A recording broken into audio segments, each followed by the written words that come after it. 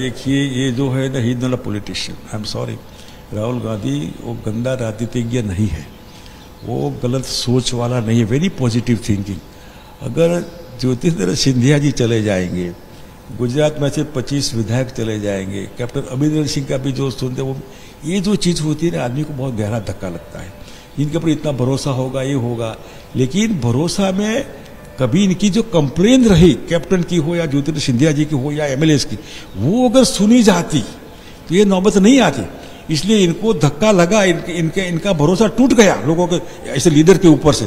टूटने के बाद रिएक्शन की सरकार आए ना क्या फ़र्क पड़ती? सर, सरकार आने के बाद अगर विधायक को चले जाना है बीजेपी में तो वो न हो तो अच्छा है। लेकिन ये ये रिएक्शन है इनका। ये रिएक्शन से बाहर निकलकर जैसे भी है अपने लोग हैं संभाल लीजिए इनको।